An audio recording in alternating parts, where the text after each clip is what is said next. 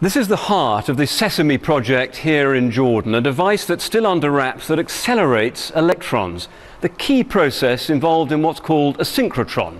And this will be the first such machine in the Middle East. The electrons get fired through a great circle of these magnets.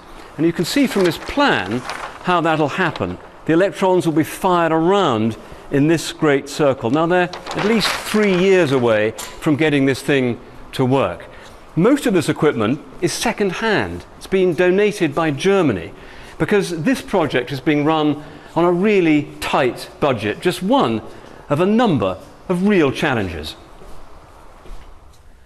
Now, because this machine will generate some really powerful X rays, it needs some very serious shielding, and that's what this extraordinary zigzag corridor is all about. Should anyone happen to stumble in here when the machine's working, they ought to get some protection.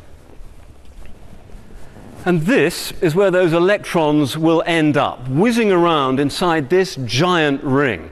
And the faster they go, the more they'll give off X rays, visible light, and infrared, exactly what the researchers need to do their work. Let's take a look inside.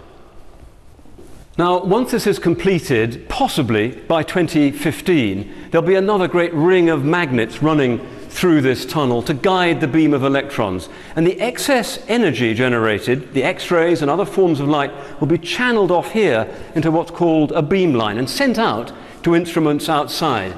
There's a host of applications for what is in effect a giant microscope, helping develop new drugs and new materials, potentially a huge boost to science in the Middle East.